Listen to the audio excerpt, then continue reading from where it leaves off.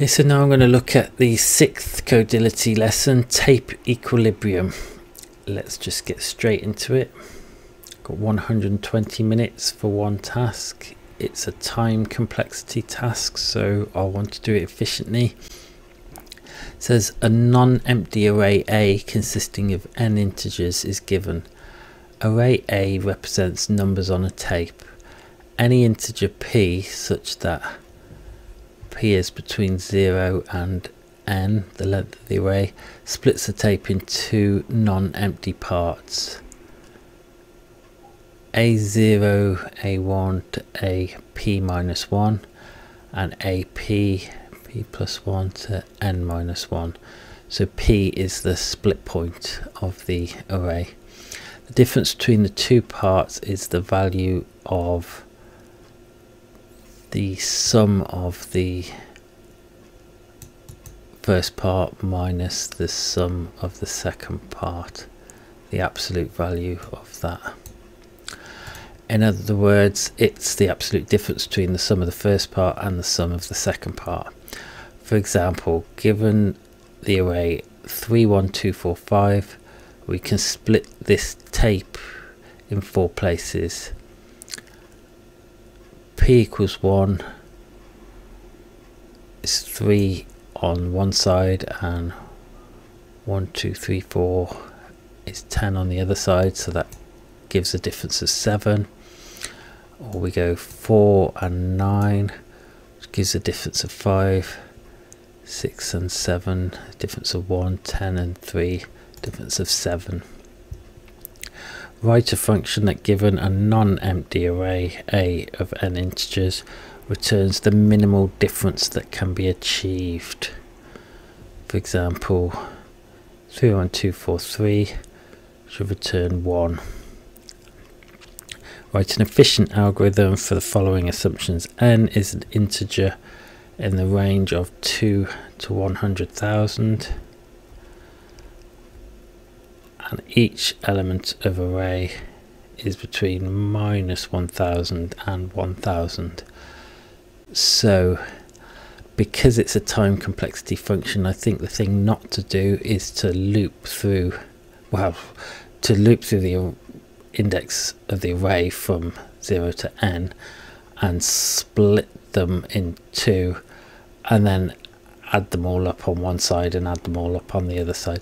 Because we only need to return the difference, we don't need to remember it. I think that the thing to do here is add them all together, put them in a number, and then loop through the array, subtracting this the the subtracting the values from that number and putting them into another number and then seeing the difference between those two numbers and if it's the smallest difference we've seen so far return it or rather remember it uh, keep going to the end and then return it. And we do need to go to the end because we could have a, a very big number on the very end. For example we could have a thousand at the start and then we can have loads of zeros which are going to make no difference. And then we could have uh, minus 1000 or, or something like that on the end. So we, we need to do the entire loop. But doing it this way with these two values keeping track of what's on either side we only have to loop through the array twice the first time to take the um, to get the total value of the array and the second time to run through to find the difference. Okay so let's have a go at that. So I've prepared this in um, Eclipse. We're taking in an int array and the example we're going to give it is 31243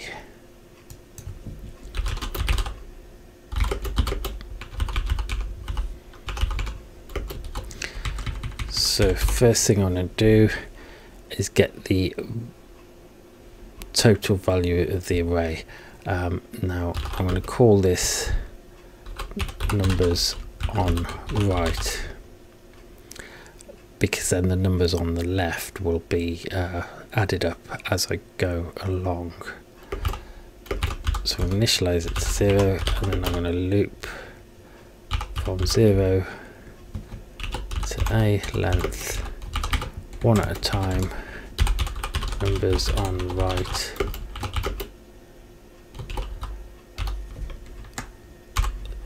So now numbers on right should be the the total of all of the numbers in the array. Int numbers on left equals zero. What I really want to do is just loop through again. Subtracting this value. Is that right? So I'm going to loop through the values again and subtract the value from the numbers on the right because the numbers now moved onto the left and add it to the numbers on the left.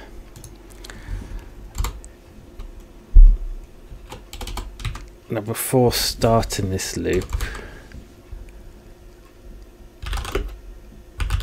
I'm going to make it a min diff and I'm make that integer max value. And here I'm going to say if math.abs numbers on left minus numbers on right.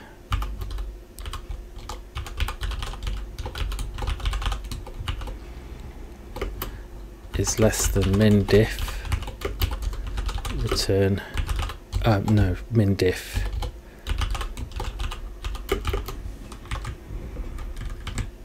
equals that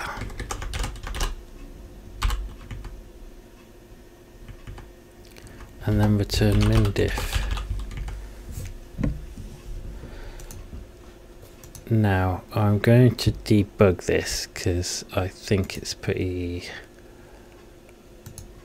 pretty straightforward but I'll just debug it to make sure it works. But we want it to return the value of 1 and I'll debug it just to make sure it's doing what I think it is if it works and then I'll think about corner cases after that.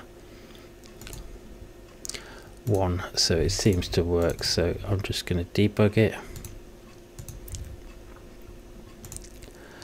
So we've got one three one two four three.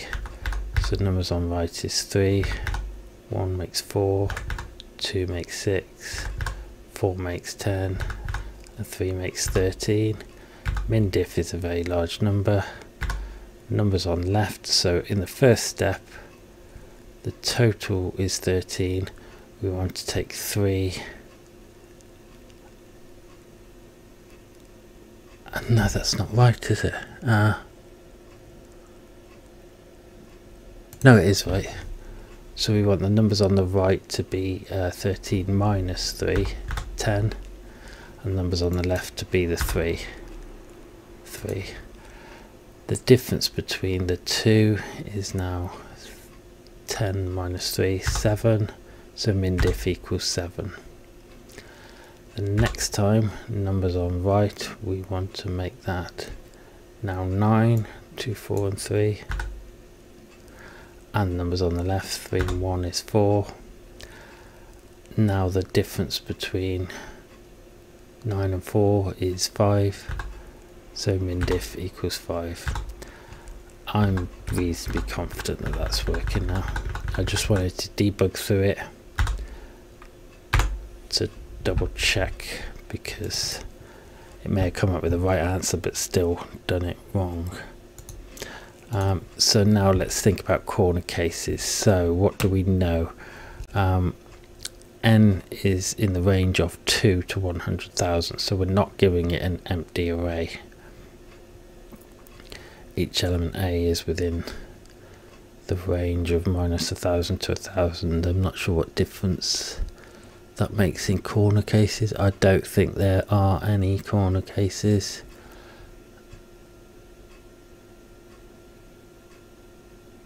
what if all of the values are zero? That could trip it up.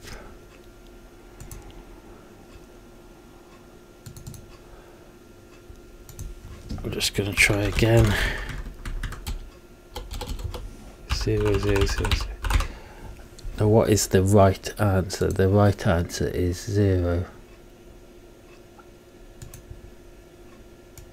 Yeah. Uh,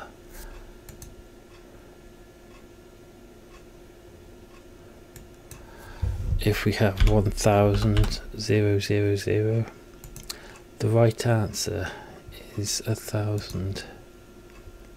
Yeah I don't think that there are any corner cases that are going to trip us up. Uh, so let's submit that.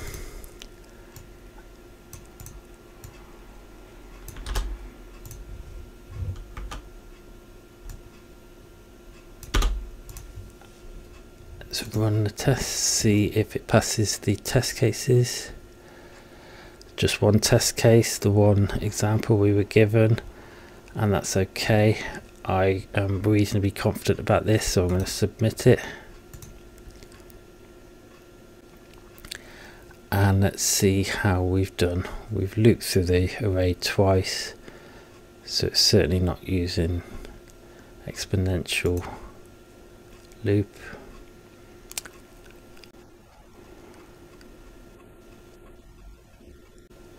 84%, so it's not perfect. Performance is 100%. So there's a corner case that's tripped us up. Wrong answer. Double two elements. Got zero. Expected 2000. Small elements got zero expected. Okay, so there's a corner case that I've not thought about. So I'm just going to go back into this and fix it.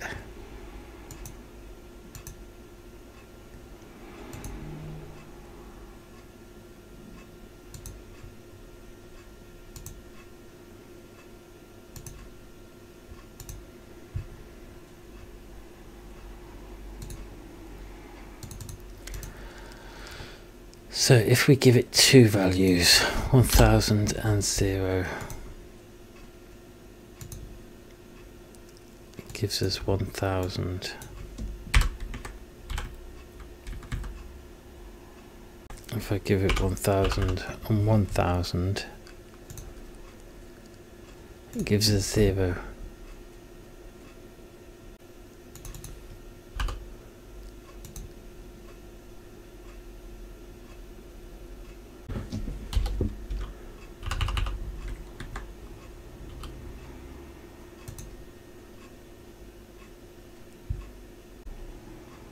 Okay, in the case of 1000 and minus 1000, it's giving us 0. But we have to split the tape. P has to be bigger than 0 and it has to be less than n. So what I've forgotten to do is make sure that we only evaluate it p, which in this case is i, is greater than 0.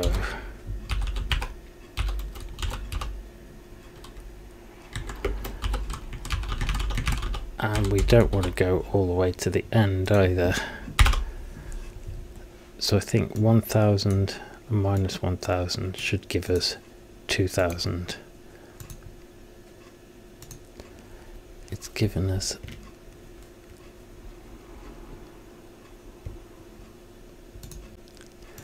nah what we wanted we do want to we don't want to go to the end but we do want to do first value because the first value is moving the first number across so there 2000 so I think that's the thing I forgot to do was just making sure P the split point was not at either end of the array.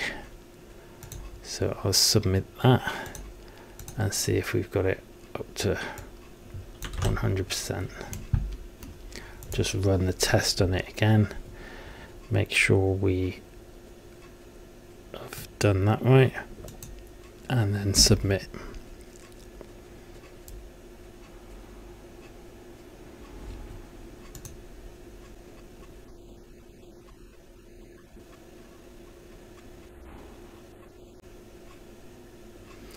And 100% so now all of the tests are passing. So that's the uh, the sixth codility lesson tape equilibrium. Thanks for watching